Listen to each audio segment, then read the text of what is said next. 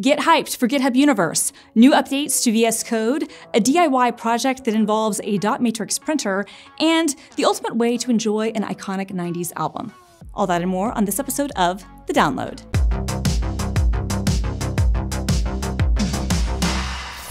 Welcome back to another episode of The Download. I'm your host, Christina Warren, Senior Developer Advocate at GitHub, and this is the show where we cover the latest developer news and open source projects please like and subscribe. So my shirt this week is from the Sportech collection available at thegithubshop.com. And speaking of the GitHub shop, they've got a collection of items in advance of GitHub Universe, which is taking place in San Francisco in just a few weeks. So whether you're attending in person on October 29th and 30th, or you're joining us online, you can get your swag game on in advance.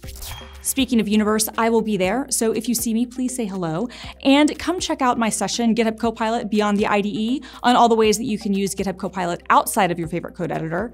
But we've got tons of other great sessions too, and we have some curated agendas for, att for attendees, whether you're joining us in person or online. And so I've got more details on the website linked below, but some of our agendas are for things like what's new with GitHub, where you can explore the latest tooling and features. We've also got an agenda focused on career growth, helping attendees enhance skills and close knowledge gaps. And there is an agenda for the experienced dev focused on technical mastery, and we've got a virtual agenda for remote learning and skill building building too. And like I said, if you attend GitHub Universe and you see me, please say hello because I, I, love to meet our users. More details at the link down below. One other call out that I want to make um, is that at GitHub Universe this year, we will have an open source zone, which will be a hotbed of groundbreaking ideas, live demos, and community connections featuring rising stars from our GitHub Accelerator program, champions from our maintainer community, friends from our GitHub Fund, and passionate curators from around the globe. And so you'll be able to meet devs for projects like Homebrew, Kubernetes, Home Assistant, Ladybird, Oh My Zsh, and more. And Lee has a great blog post showing off some of the great projects and maintainers that will be on display, so you can check that out at the link below. And, and, and one final Universe sneak peek. There are a number of great sessions about GitHub Copilot Workspace at Universe, and Chris and Cole put out a great blog post highlighting some of the best tips and tricks that we've learned in the last five months during the GitHub Copilot Workspace technical preview. And if you're not familiar, GitHub Copilot Workspace is a Copilot native dev environment designed to help you complete everyday coding tasks. So from GitHub, you can open a GitHub issue, uh, a pull request, template repository, or an ad hoc task in Copilot Workspace, and you can start working on the problem it's really, really cool. And so in the blog that I've got linked down below, Chris and Cole talk about some tips and tricks for getting the most out of the experience, and it's definitely worth a read. And again, if you're at Universe, be sure to check out their session because I know it's going to be fantastic.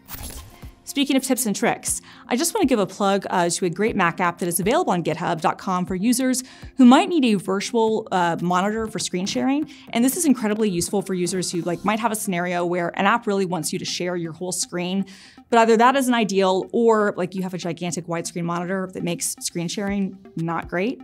It's called DeskPad. It's free, and like I said, it's on GitHub, and it has um, really come in handy for me when I've had to do presentations or demos, and traditional screen sharing or mirroring just isn't the best. And so I've got a link uh, for DeskPad uh, down below, but a huge shout out to Stengo and the other contributors for making this app available. Speaking of apps, just to note that the latest version of Visual Studio Code is out, and it has some great new features, including Copilot support in the native REPL environments used by the Python extension. You can also now change what model you use for Copilot, which is useful if you've signed up for early access to OpenAI's new O1 models. And I've got a link uh, to the full release notes in the description down below. And now it's time for my GitHub Project Spotlight. And this is where I highlight a great project available on github.com. And this time it is a DIY project built by Andrew Schmelyun that combines a dot matrix printer, a Raspberry Pi Zero, a serial to USB adapter, and a power supply, along with some PHP code to create basically a custom front page of news and weather from around the web in a delightfully lo-fi way. That's right, it prints it all out on a dot matrix printer. Look, are there better ways to get a news digest? Almost certainly. Is it kind of insane to use a dot matrix printer in 2024? Absolutely. Do I love everything about what Andrew did here? Yes, undoubtedly. Thank you so much for sharing this with the world, Andrew, and for putting the code on GitHub. And now it's time for my pick of the week. Green Day has become one of the most iconic American bands of all time, and this year marks the 30th anniversary of their breakthrough album, Dookie. And to celebrate, the band did something insanely cool, which was to make a new demastered version of the album, where, in their own words, they re exploded each track onto obscure, obsolete, and inconvenient formats. So that means that each track for the album was put onto a random, obscure, outdated device or format that was never designed for this purpose.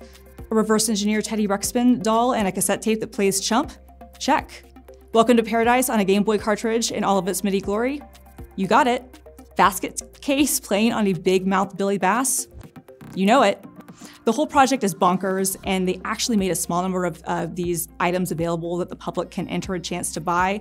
Now, by the time you see this, the opportunity to buy any of the tracks will be gone, but the website, which shows off how all these things sound and the ridiculous formats and devices they chose, which include things like a hit clip, a mini disc, an 8 track, and even a Fisher Price record, is just delightful and it's worth your time. So listen to me whine. All right, I'll, I'll stop.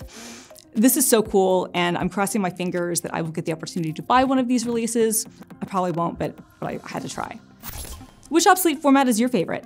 Let me know in the comments below, or let me know your thoughts on any of our other topics that we discussed this week. And that's going to do it for me. If you like this episode, please give it a thumbs up to help the algorithm, and subscribe to the GitHub YouTube channel for all your nerd needs.